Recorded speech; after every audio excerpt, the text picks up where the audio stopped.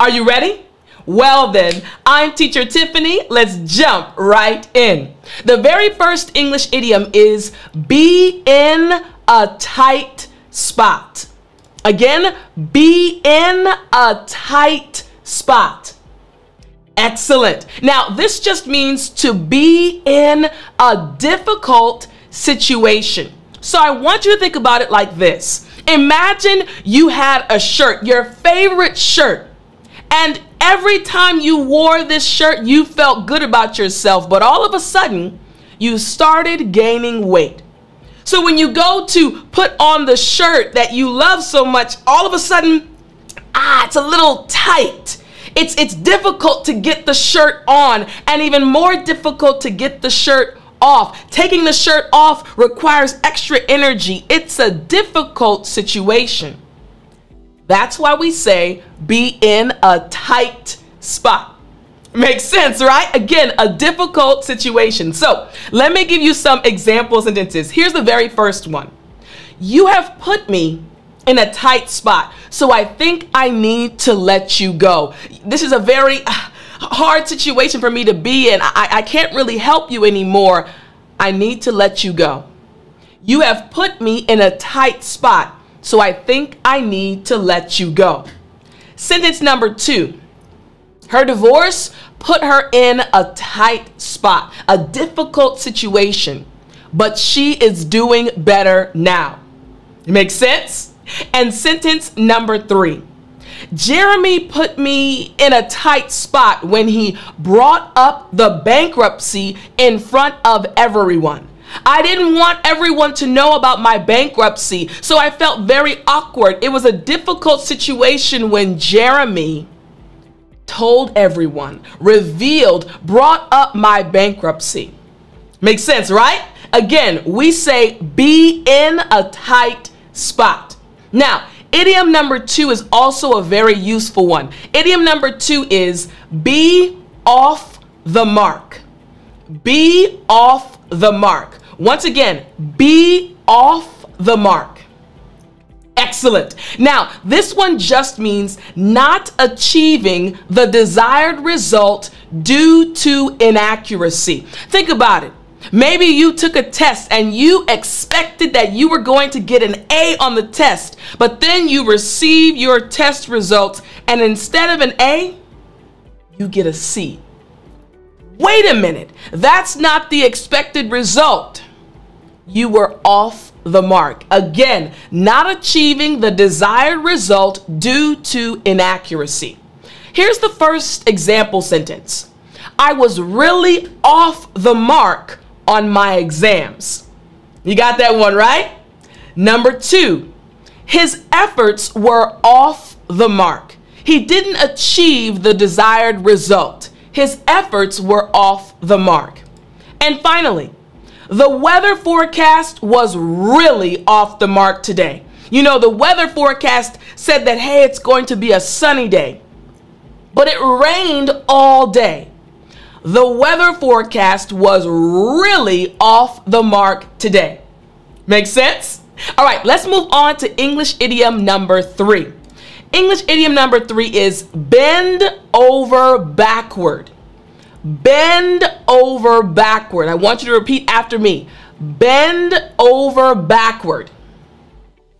Excellent. Now, this idiom just means to work extra hard in an effort to make someone happy.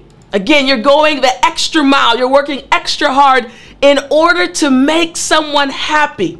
Now think about bending over backward. Oh, it's not really the easiest thing to do. You have to put a lot of effort in order to do it, right? It's just saying that you're working extra hard to help someone else out. In English, we say bend over backward. Now, check out this example sentence. Jamie's husband constantly bends over backward for her. He loves her so much, whatever she wants. Even though he comes home from work extremely tired, he will go right back out to get her some flowers, to get her the food that she wants. Why? Jamie's husband constantly bends over backward for her. He worked extra hard. He works extra, extra hard in an effort to make her happy. All right, sentence number two. I bent over backward for that guy and he still treats me poorly. I worked hard, I put in my best effort, and yet he still treats me poorly. Again, I bent over backward for that guy and he still treats me poorly. And what about sentence number three? I only bend over backward for family. I only put in an extra effort for my family. Once again, I only bend over backward for family. Makes sense, right? Okay, let's check out idiom number four. Idiom number four is bite off more than you can chew.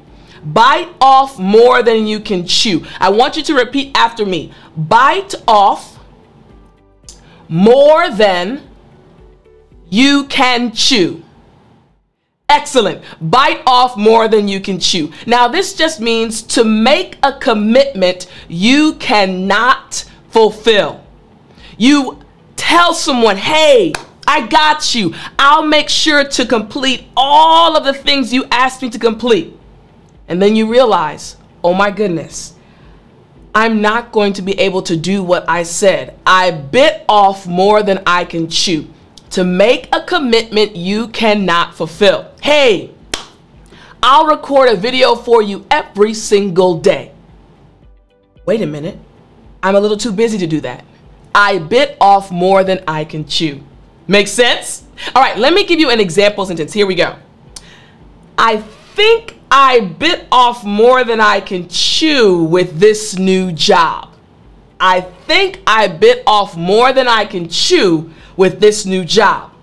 Next, I need to expand my company, but I don't want to bite off more than I can chew. I want to get bigger, but I, don't want to make a commitment that I cannot fulfill. I need to expand my company, but I don't want to bite off more than I can chew. And this one, he is about to bite off more than he can chew by marrying Sabrina. I don't think that's a wise decision. This might be a little bit much for him. He is about to bite off more than he can chew by marrying Sabrina. You got it, right? Okay, now let's move on to idiom number five. Idiom number five is bitter pill to swallow. Bitter pill to swallow. After me, bitter pill to swallow. Excellent. Now, a bitter pill to swallow. This just means an unpleasant happening that is difficult to endure. Something that happens that it's hard for you to accept. It's hard for you to believe that this thing is happening to you. An unpleasant happening that is difficult to endure. It's not easy. A bitter pill to swallow. Now, let me give you an example sentence that will help you understand this idiom. Moving away from family was a bitter pill to swallow. It's so hard to move away from family. For example, you know I lived in South Korea. I lived there for almost 10 years. And during that time, I missed so many family events. It was a bitter pill to swallow. But now I'm home and I'm with my family, so I'm happy. But again, moving away from family was a bitter pill to swallow.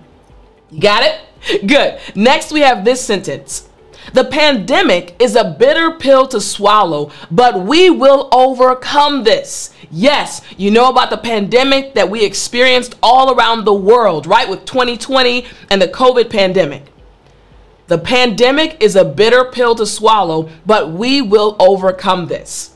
Make sense? All right, and sentence number three. Failing the bar exam yet again was a bitter pill to swallow. I failed again. I gave it my all, but I failed. Failing the bar exam yet again was a bitter pill to swallow. Make sense? All right, excellent. So now you know the five English idioms that you didn't know before, but now you can use them in real life. All right, English idiom number one hit the road. Hit the road. Now, this just means to start a journey. Again, to start a journey. So I want you to think about you and your family members or you and your friends. Maybe every summer you plan a trip and you decide to go to some beautiful location. And to get there, you decide to drive your car. You say, Come on, guys, let's go. Get your bags. We are going to hit the road. Again, start a journey. Makes sense, right? Right when you're about to go, you say, Let's hit the road. Here's some example sentences. Here we go. Sentence number one. We need to hit the road early if we want to make it to the beach before it gets crowded. Hey, listen, everybody goes to this beach because the weather is nice most of the year, but this beach, man, it just seems like the weather is just perfect whenever we go to this beach. The waves are perfect. Everything is great. So we need to get there early because everyone loves it. Let's hit the road. Let's start our journey early. Makes sense, right? All right, here we go. Sentence number two. After a quick breakfast, we hit the road. We started on our journey to begin our trip across America. One more time. After a quick breakfast, we hit the road to begin our trip across America. Make sense? All right, here we go. Sentence number three. It's time to hit the road and explore new cities. Hey, we have to get out and go. We need to explore new cities. We need to hit the road. Start our journey. Make sense? All right, again, idiom number one hit the road. I want you to start using it today. If you're watching this video, I want you in the comment section. I want you to use this idiom, make your own sentence using hit the road. Here we go. Idiom number two on the move. On the move. Now, this just means traveling from one place to another. Traveling from one place to another. Think about it. If I'm going from Maryland to New York to then Pittsburgh. I am moving from one place to another. I am traveling. I am on the move. Caught it, right? Check out this example sentence. Here we go. Sentence number one. As a travel blogger, my friend is always on the move going from place to place to place, from country to country. My friend is always on the move. And actually, this is a true statement. One of my good friends, she's a travel blog, blogger, and she is always on the move. Good job. Here we go. Sentence number two. We need to pack our bags quickly because we'll be on the move again this evening. Hey, we're going to be traveling from place to place. We need to pack our bags quickly. Make sense? All right, here we go. Next, we have sentence number three. My friends are always on the move during the summer. They're always traveling from place to place. In English, we say on the move. You got it. Good. All right. Idiom number three. Another great idiom. Number three. Catch a ride catch a ride. Now, this just means to get a lift from someone or to go somewhere in someone else's car. To catch a ride. For example, I went on a trip, right? I went to Mexico last year. True story. I went to Mexico with some family and friends. Now, I was going to the airport and my best friend called me. She also went on the trip, but we were on different flights. She said, Hey, Tiff, on the way back, can I catch a ride with you from the airport? We're gonna arrive. We're flying into the same airport, but I need a ride. Can I catch a ride with you? Can I go back home with you in your car? I said, Sure thing. Again, catch a ride. You got it, right? Again, this idiom is very natural. You can use it and sound more like a native English speaker. So here we go. Sentence number one Hey, like my friend said, Can I catch a ride with you to the airport or from the airport? Can I catch a ride with you to the airport? Sentence number two. I don't have a car, so I'll have to catch a ride with one of my sisters. I'll have to ride with her to the destination. Sentence number three. If you're going downtown in a few minutes, can I catch a ride with you? Can I go there with you? Can I ride in your car to that place, to that destination? Again, if you're going downtown in a few minutes, can I catch a ride with you? Make sense? All right, good. Now let's move on to idiom number four. Another good one. Take off.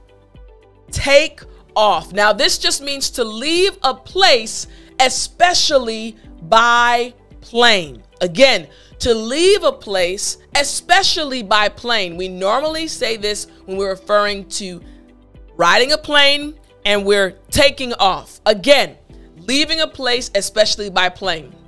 For example, so I enjoy traveling, right? I travel a lot and I have to travel for work sometimes, right? If I'm traveling to either go to a seminar, to a conference, or to speak somewhere. So when I'm on a plane, the plane is sitting right on the ground. I normally have everything set up. I normally fall asleep before takeoff. It's true.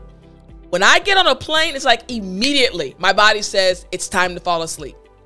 Great rest, right? So I normally fall asleep before we leave. Before we take off, I'm knocked out. I'm asleep. Makes sense, right? Maybe you're the same way. So here's an example sentence. We're scheduled to take off at 5 p.m. So please make sure you're at the airport on time. We're scheduled to take off at 5 p.m. Don't be late. Next sentence. The plane is about to take off, so please fasten your seatbelts at this time. We're about to take off, so I need you all to please fasten your seatbelts. And finally, sentence number three. I'm excited to take off on my first international flight and explore a new culture. I'm sitting on the plane. I can't wait for the plane to take off. Once again, I'm excited to take off on my first international flight and explore a new culture. You got it? All right, good. Now we have one more English idiom, but before I tell you the idiom, I want to remind you I have a free English newsletter.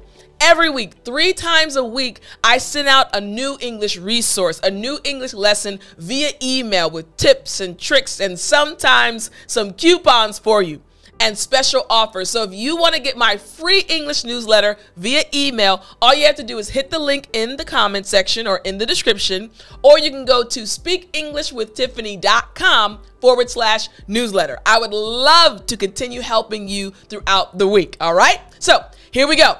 The final idiom, idiom number five road trip.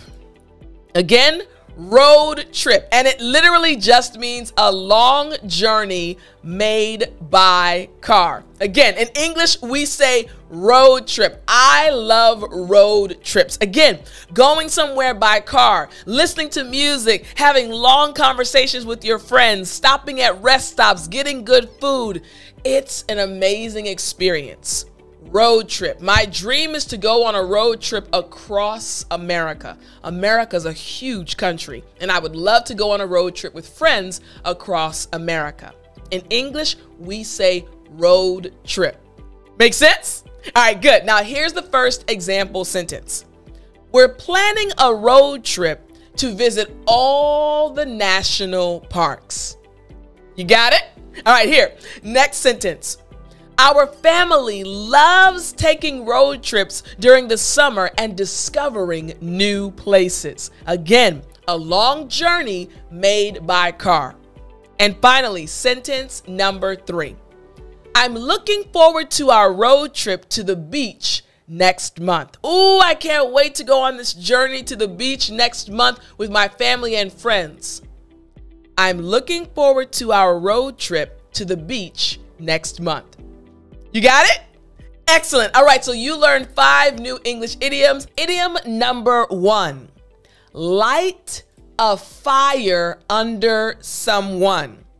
Once again, after me, light a fire under someone.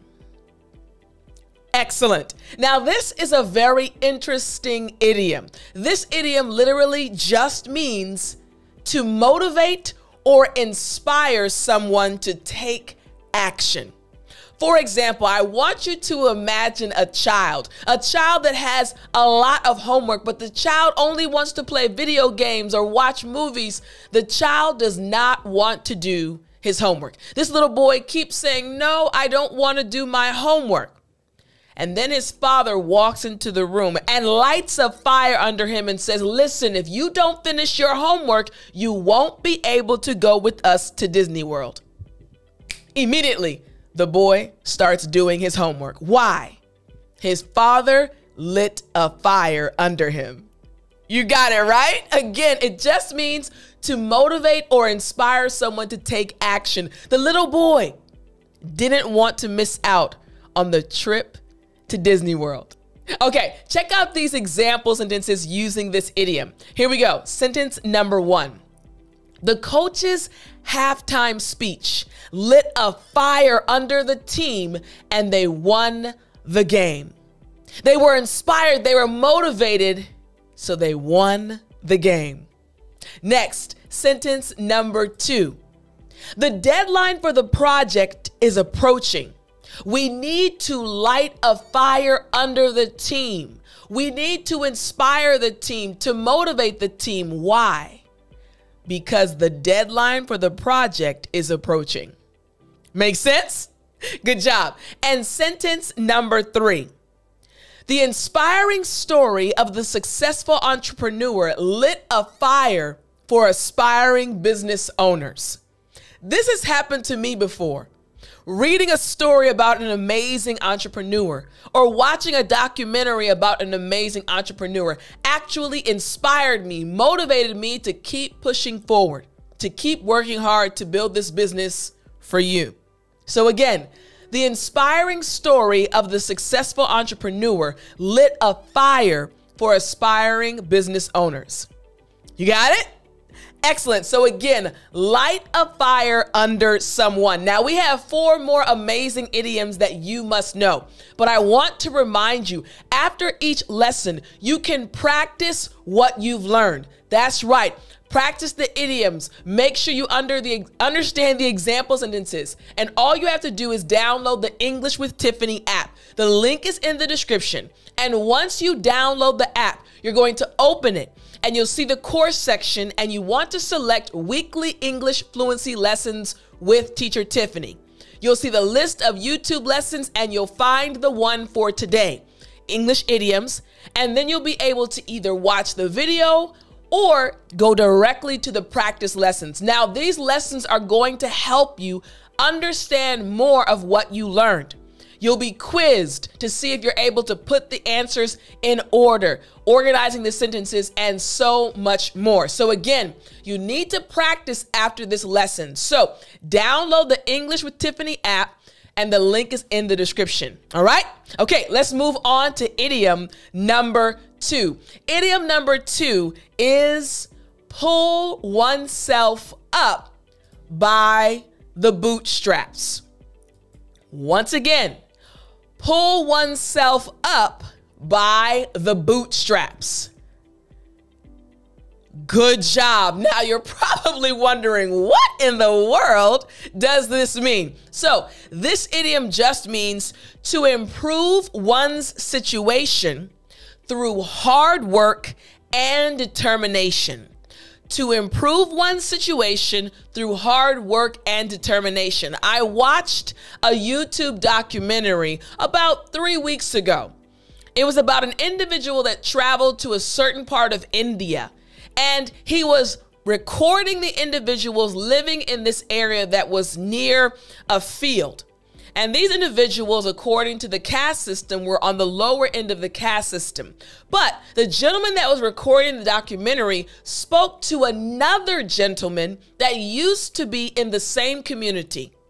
But He pulled himself up by the bootstraps, went to school, got an education, and he was successful. And he decided to come back to his old environment, his old neighborhood, to help other people as well. This was a great story, a great documentary about pulling oneself up by the bootstraps. Again, improving one's situation through hard work and determination. Makes sense, right? Excellent. All right, let's check out some example sentences. Sentence number one After losing his job, he pulled himself up by the bootstraps and started his own business. He said, Listen, I lost my job, but I'm not going to stop. I'm going to keep moving forward. I'm going to start my own business. He pulled himself up by the bootstraps. Next, sentence number two. She pulled herself up by the bootstraps and overcame the challenges of being a single mother. So you're seeing now how this idiom can be used in so many different ways. It can apply to so many different real life situations, right? All right, and sentence number three. The athlete pulled himself up by the bootstraps and trained harder to win the championship. Makes sense? So, again, pull oneself up by the bootstraps. It just means to improve one's situation through hard work and determination. You got it? Excellent, excellent. Let's move on to idiom number three. Idiom number three. Put one's nose to the grindstone. Again, put one's nose to the grindstone. All right. Now, this is a very good idiom for you to understand, one that you must actually know. So, this just means to work hard and diligently on a task. We've been talking about idioms that relate to challenges, right? And this one is similar. Again, to work hard and diligently on a task. For example, I record English lessons for you to help you improve your English fluency. I also record English lessons for my students in my academy to help them improve their English fluency. So when I have to record, I have to put my nose to the grindstone. I have to work hard and diligently, focusing on the task at hand. Makes sense, right? Excellent, excellent. All right, so let's check out some example sentences. Here we go. The students put their noses to the grindstone and studied for the final exams. The students put their noses to the grindstone and studied for the final exams. Make sense? Excellent. Here we go. Sentence number two. The writer put his nose to the grindstone and finished the book before the deadline. Once again, the writer put his nose to the grindstone and finished the book before the deadline. Finally, sentence number three. The team put their noses to the grindstone. They worked hard and completed the project ahead of schedule. One more time. The team put their noses to the grindstone and completed the project ahead of schedule. You got it? Excellent. So, again, idiom number three that you must know put one's nose to the grindstone. Let's move on to idiom number four, another great one bite the bullet. Bite the bullet. Now, remember, we're talking about idioms that relate to challenging situations. So, I want you to repeat after me before we go to the meaning. Bite the bullet. Good job. Now, this just means to face a difficult or unpleasant situation with courage and determination. Think about a fireman. He or she, there are a lot of firewomen as well, have to fight fires in order to save people, biting the bullet, facing a difficult or unpleasant situation with courage and determination moving forward, even though it's hard. Check out this example sentence. She had to bite the bullet and tell her boss the truth about the mistake she made. Not easy, but she bit the bullet and she did it. Second, the athlete had to bite the bullet and play through the pain to help his team win. The athlete had to bite the bullet and play through the pain to help his team win. And finally, sentence three the company had to bite the bullet and make some tough decisions to stay afloat. The company had to bite the bullet and make some tough decisions to stay afloat. Not easy, but they had to bite the bullet. Makes sense, right? Again, idiom number four bite the bullet. All right, and now idiom number five, another idiom you must know. Keep one's eye on the ball. After me, keep one's eye on the ball. Excellent. Now, this just means to stay focused on the goal or objective. To stay focused on the goal or objective. For example, you know that my goal is to help 1 billion English learners around the world, including you, speak English with confidence. That is a huge goal. So, in order for me to achieve that goal, I have to stay focused. I have to keep my eye on the ball, focused on my goal. You got it? Excellent. All right, here's the first example sentence.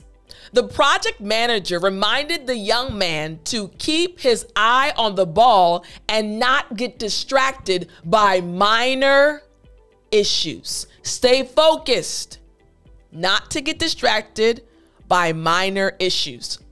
Sentence number two the athlete kept his eye on the ball and scored the winning goal. He was focused as he came down the court and he shot the ball.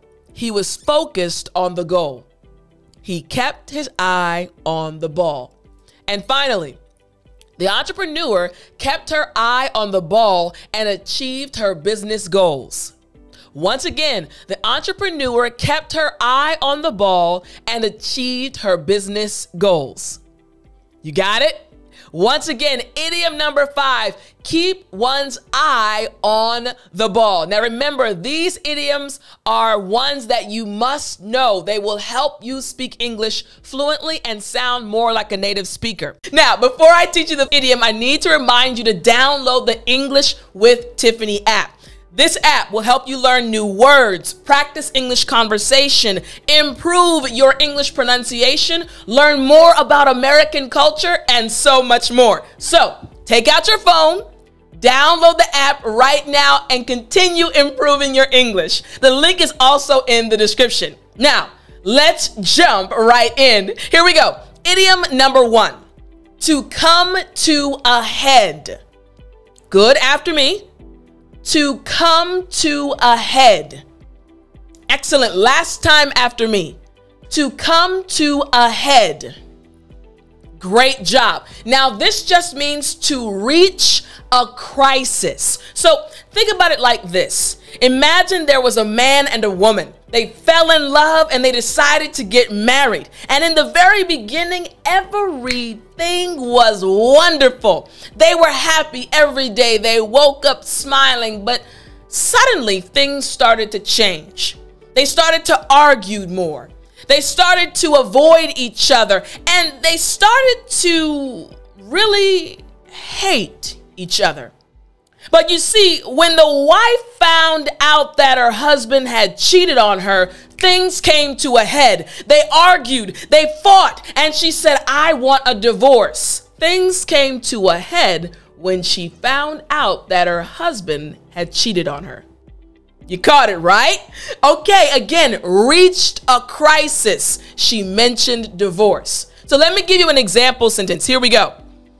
Things haven't been good between us for a while. And this incident made everything come to a head. Just like in this story with the husband and wife, things came to a head. Here's another example sentence. The situation finally came to a head when she failed to show up to school. Reached a crisis. And sentence number three A situation came to a head when the workers went out on strike. When the workers went out on strike, it reached the crisis level. In English, we say to come to a head. Makes sense, right? Again, try to use the idiom today at least one time. Here we go. Now, idiom number two turn a deaf ear. Now, after me, turn a deaf ear. Excellent. Again, turn a deaf ear. Good job. Now, this just means to refuse to listen or respond to a statement or request. In English, we say turn a deaf ear. Think about it like this there's a story that is told to children, and the story is called The Boy That Cried Wolf. Now, in the story, this little boy, every day he would say, There's a wolf coming, there's a wolf coming.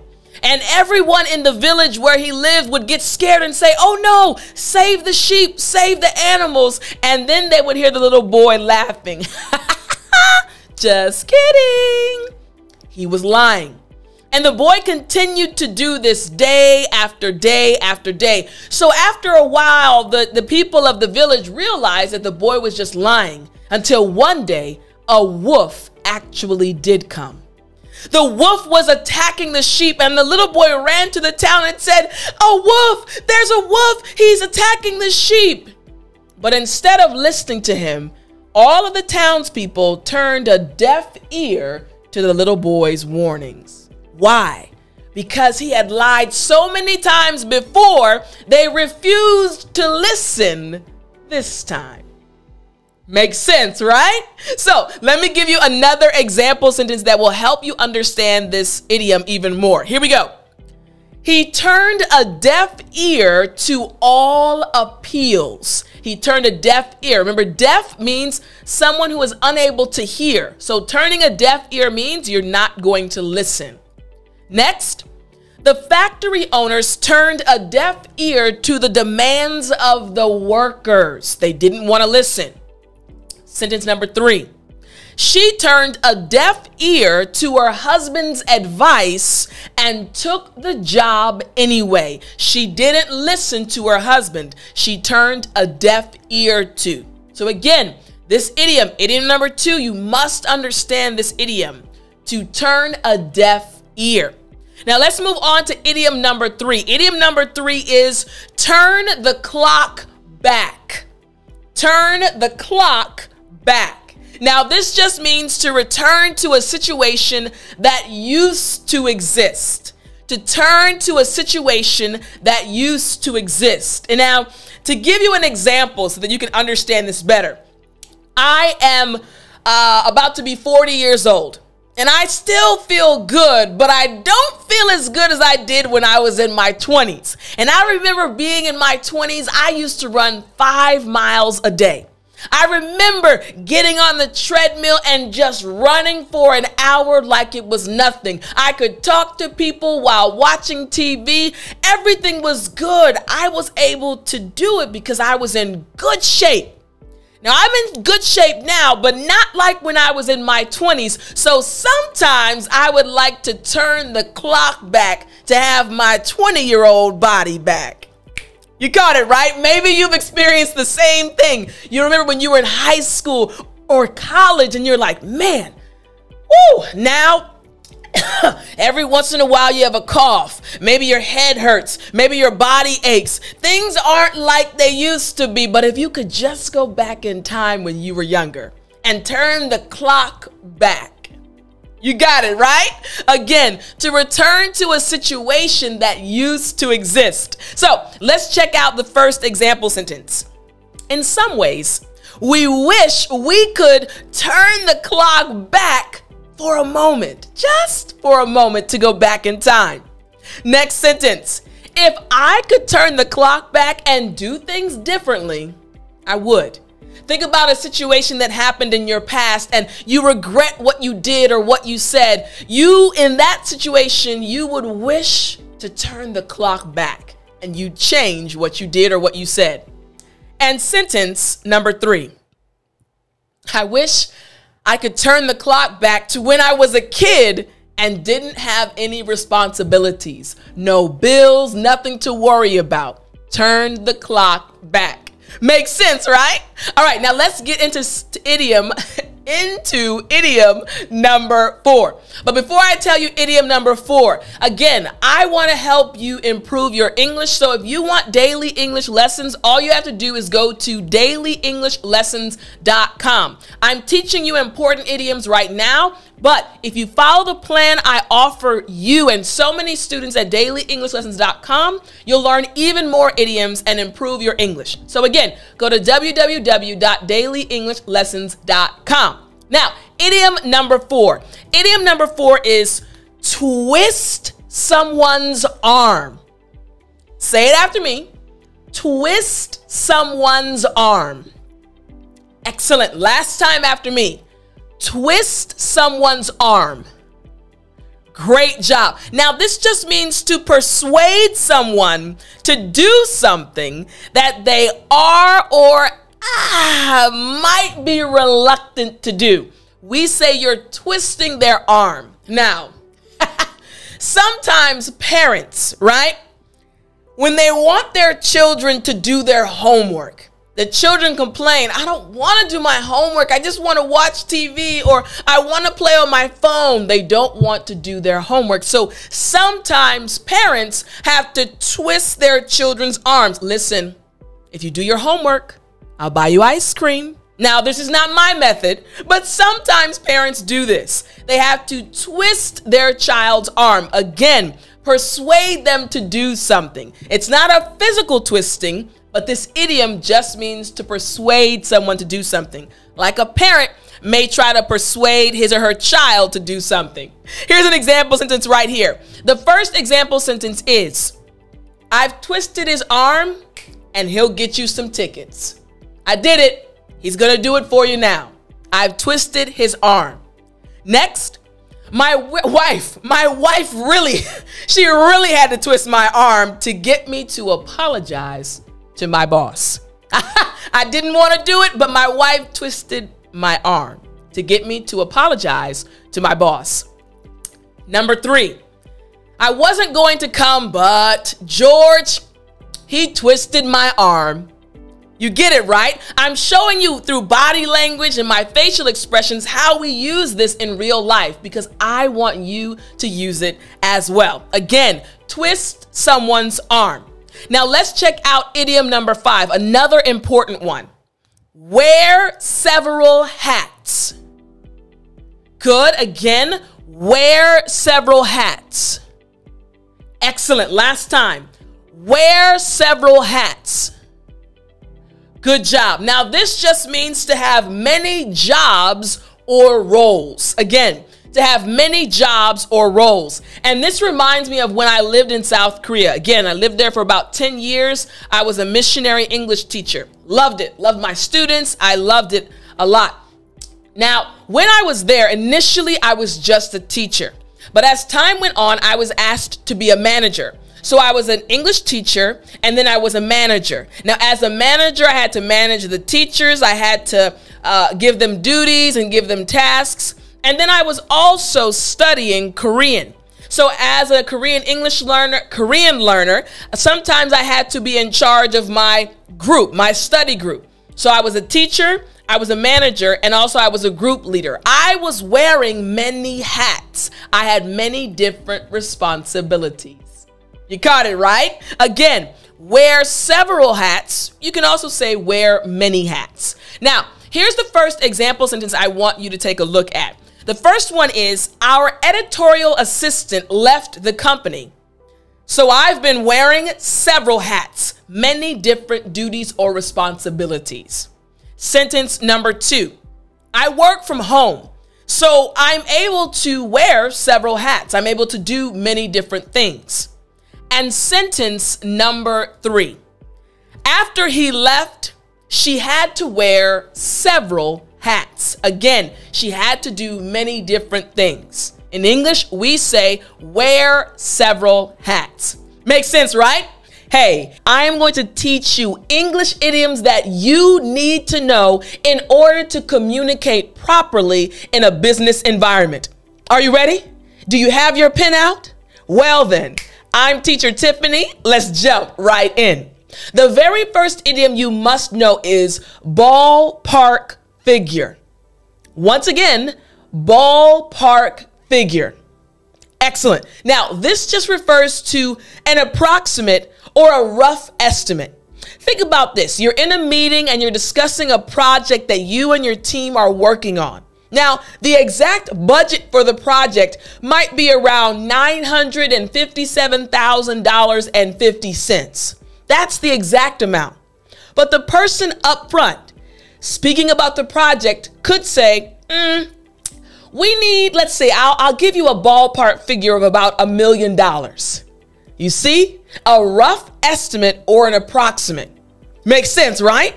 This is a very commonly used idiom in the business environment. So let me give you some example sentences that will help you use this idiom.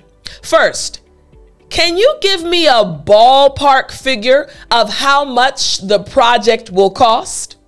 That's related to the example I gave you before, right? Check out this example sentence. The salesman gave me a ballpark figure, an estimate for the price of the car. So when you're going to get a car, they can give you a ballpark figure. And finally, this example sentence. We need a ballpark figure of the expenses before presenting the proposal. You got it? Good. So once again, ballpark figure. Excellent. Now, the second one is also very important. The second English idiom for the business environment is cut corners. Good. Again, after me. Cut corners.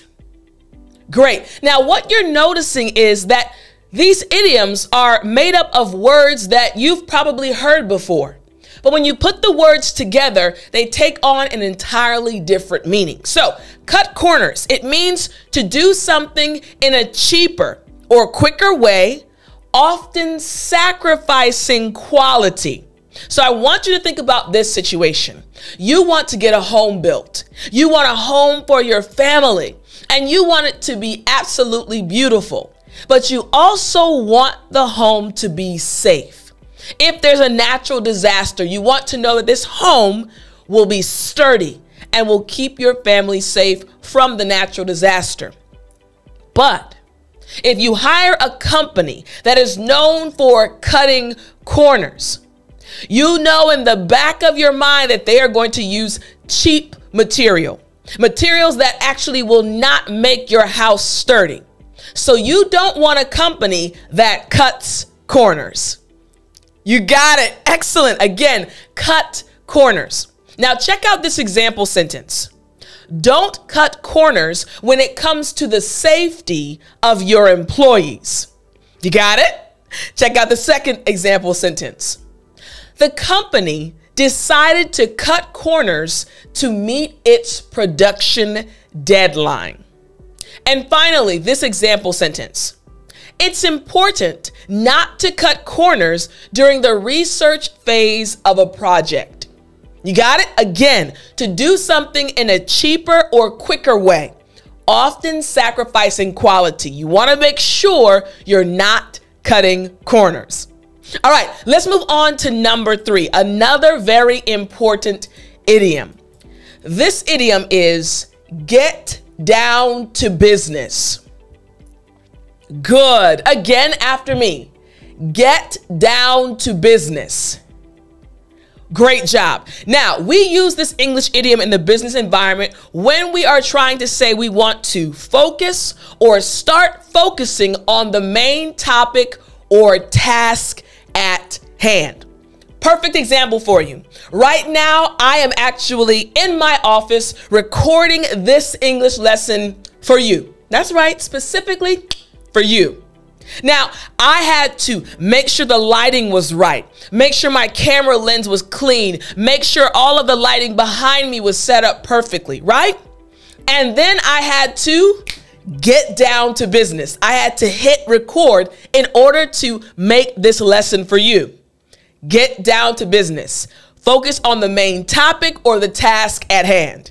You got it? Excellent. All right, check out these example sentences. Here we go. Let's get down to business and discuss the details of the contract.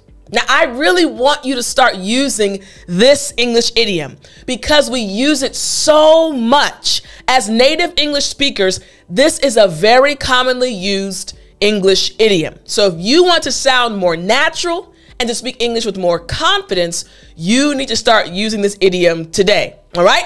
Check out this other example sentence. After some small talk, the team finally got down to business in the meeting. They had a little bit of conversation, a little small talk, and then they got down to business.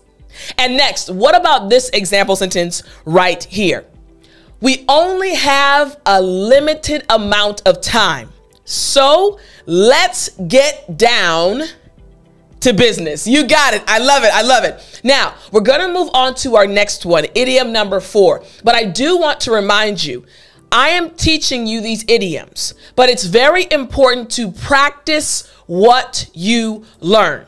So I want you to remember to download the app, English with Tiffani. The link is right in the description. And when you download the app, you'll be able to practice what you are learning today. Go to weekly English lessons with teacher Tiffani and you'll see today's lesson, right?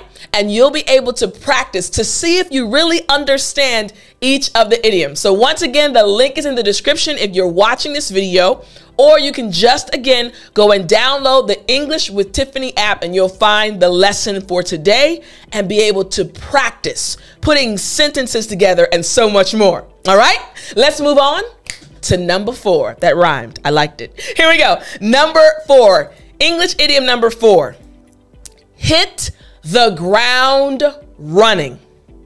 Hit the ground running. Now, this just means to start a new project or job energetically and without any delays hit the ground running. Now, for me, I'll use myself as an example. Again, I enjoy recording these lessons for you, and I've gotten so many messages from you all, and probably from you too, letting me know that you love the passion I have for helping you learn English. It's real. I really enjoy this. So, normally, once a month when I come to my office to record these lessons, I make sure everything is set and I hit the ground running. I go right through recording the lessons, making sure everything is perfect for you without any delays. Every Sunday, putting a lesson up just for you. I hit the ground running. You got it? Excellent. Check out this example sentence. Here we go. The new employee hit the ground running and quickly adapted to the company's work environment, fell right in line, and did what everyone else was doing. Next, we have this one. We need someone who can hit the ground running in this fast paced industry. And finally, the team decided to hire an experienced consultant to hit the ground running on the project. We need to get started and move forward without delay. Again, hit the ground running. You got it?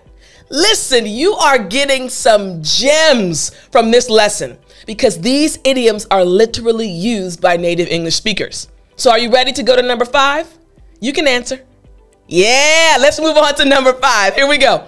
Number five is learn the ropes. Learn the ropes. Now, this is another important and very useful English idiom, especially in the business environment. It just refers to becoming familiar with the details and practical knowledge of a job or task. I remember my assistant started working with me over a year ago. Amazing young woman, amazing young woman. And if she's watching this, thank you so much. I appreciate you. An amazing woman. Now, when she first joined my team, she didn't know anything. She was very skilled and very talented. but she had to learn the ropes. I had to teach her how to do certain things. I had to show her where certain files were. Why? Because she didn't know it before, so I had to teach her the main things she needed to know, all of the details and the practical knowledge. She had to learn the ropes. Now she's an expert. Now she's absolutely amazing. All right? You got it? Excellent. All right. Check out this example sentence. The intern will spend the first few weeks learning the ropes of the company's procedures. You got it? Next, here we go. It takes time to learn the ropes of managing a team effectively. And finally, we have this one right here. The new hire is still learning the ropes, so we need to provide guidance and support. You got it? So, once again, learn the ropes. All right, let's move on to number six. Again, you are getting so much knowledge, so much information during this lesson. Here we go. Number six, call the shots. Good. Again, call the shots. Yes, you got it. Now, this just refers to being in a position of control or having the authority to make the decisions. So, again, I'll bring it back to me, your teacher, because you know me well, right? So, I'm running a business, the Speak English with Tiffani Academy, and this YouTube channel and the Instagram channel I have.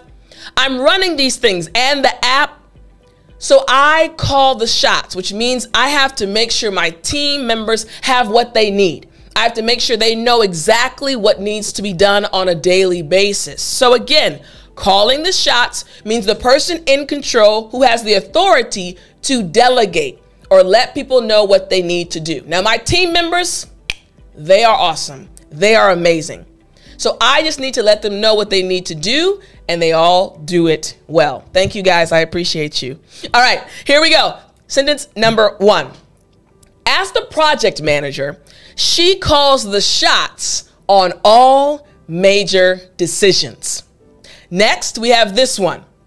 The CEO is the one who calls the shots in this company. Hey, He's the one in charge. She's the one in charge. He calls the shots. She calls the shots. The person in the position of authority.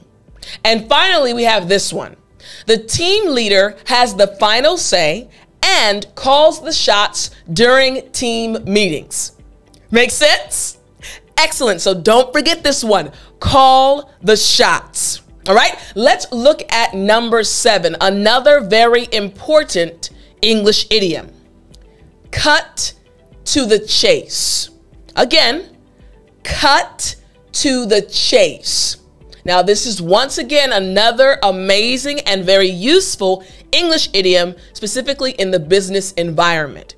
It means to get to the point or get to the important part without wasting time. Now, you can use this English idiom in other situations, but we are specifically speaking about business right now, okay? So, get to the main point.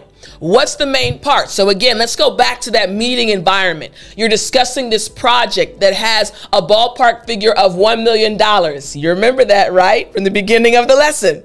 So you're sitting in this meeting and now you raise your hand and say, hey, so let's cut to the chase. What do we have to do to make sure this project is a success? Let's cut to the chase. Let's get to the main or more or most important point. You got it? Excellent. All right, check out these example sentences. Here we go. Let's skip the small talk and cut to the chase. What's the main issue we need to address? You got it?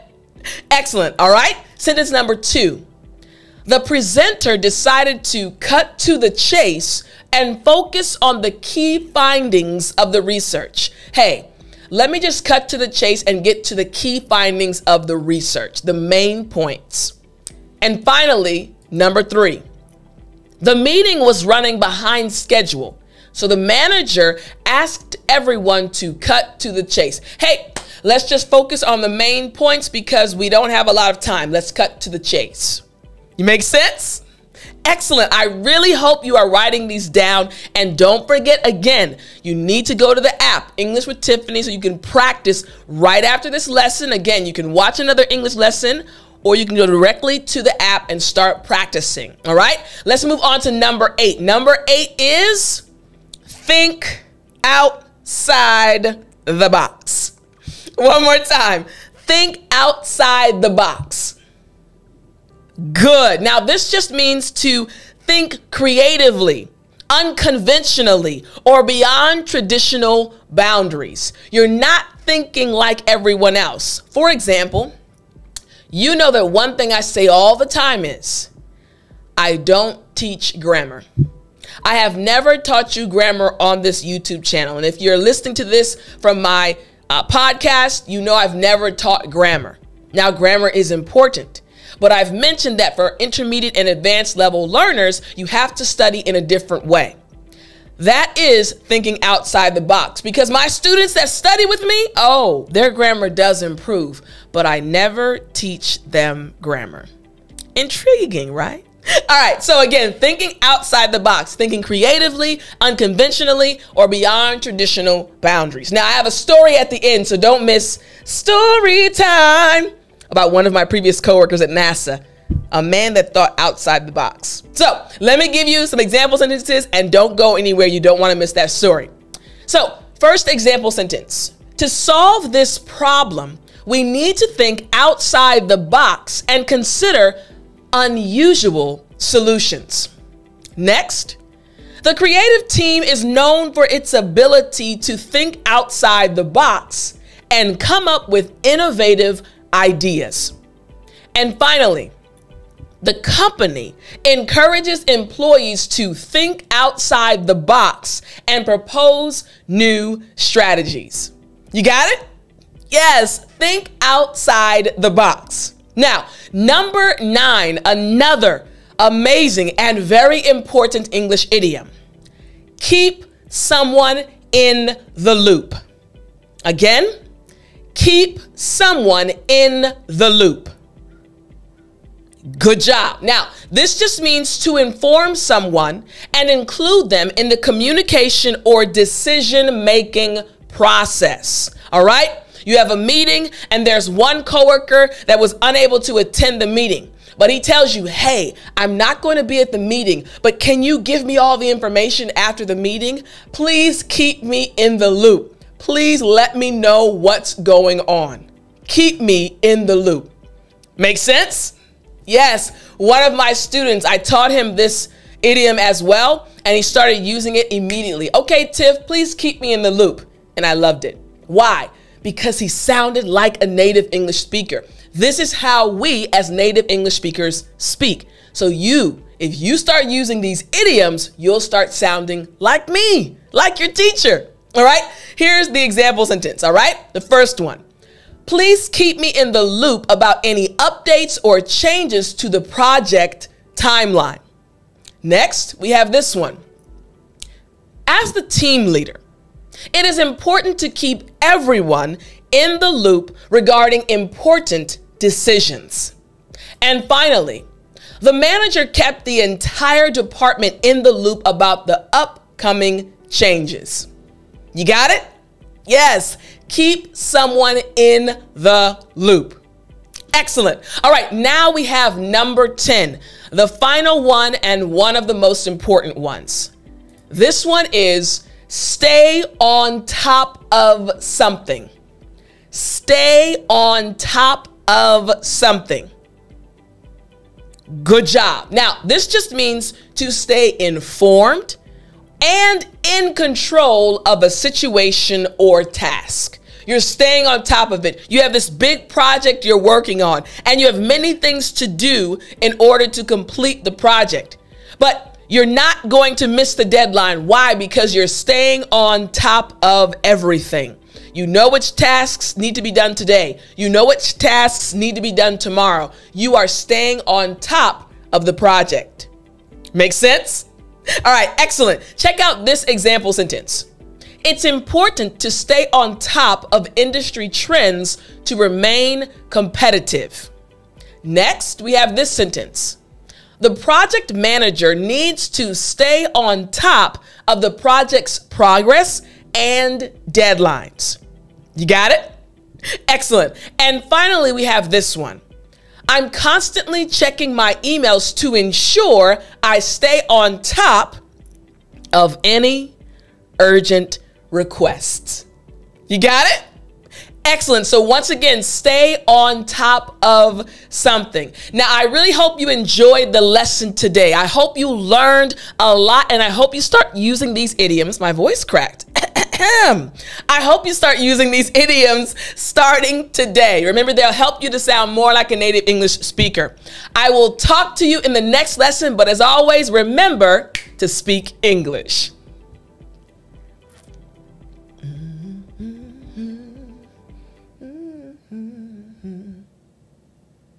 You still there? Ha ha! You know what time it is. Let's go. It's story time. Hey, I said it's story time. All right. So I told you earlier during the lesson when I was teaching you the idiom think outside the box that I had a coworker.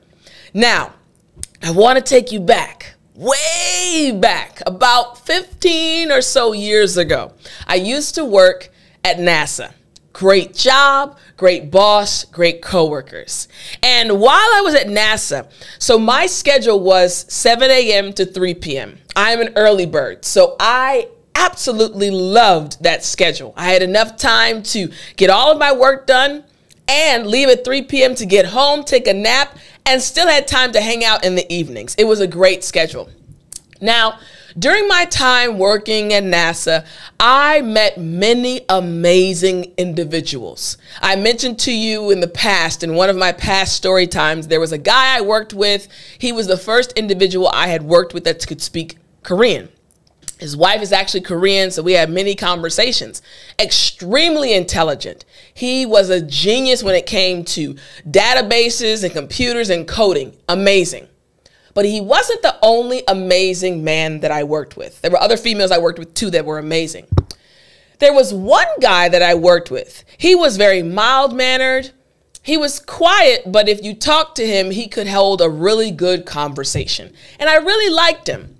So one day I just happened to stop by his desk. I was walking back to my desk and he was sitting at his desk. So I stopped just to have a short conversation with him. And he was one of the designers slash illustrators in our department. And his work literally would blow my mind. Not only was he so creative, he always thought outside of the box, but the quality of his work really blew my mind. Now, I am also an artist, so I love things that look beautiful, things that are well designed and well laid out, which is why his work caught my attention. So I was sitting talking to him as he was working on a project and he was showing me different things he used and different color combinations. And I asked him, I said, Wow, how did you learn how to be such an amazing illustrator? How did you get this good? He said, Well, Tiff, I actually uh, worked somewhere else before working here. And I said, Oh, where did you work? He said, Disney slash Pixar. I said, What did you just say? He said, Yeah, I actually used to work for, I'll say Disney. I used to work for Disney. I used to do some animation for Disney. And in that moment, I realized that the individuals working at NASA and for NASA that I was surrounded by, they were not regular people. They were the individuals that were at the top of their fields, individuals who were so talented while at the same time being super humble. He was the most humble guy I had ever met at that time. And he just told me I used to work for Disney. So, of course, he already had my respect, but my respect level even went higher when he told me that. I tried to sit with him even more just to ask him for tips on making uh, better visuals, and he was so kind. We had great conversations, and I'll never forget him because not only was he talented, not only was he able to think outside the box, he was also a humble and extremely kind individual. If you're watching this video, hey, long time no see, hit me up. I'd love to catch up. All right, guys, I hope you enjoyed this short story, and maybe you know someone else that you work with that is absolutely amazing, very humble, but extremely amazing and an expert in their field. I'll talk to you in the next lesson. Have a wonderful week.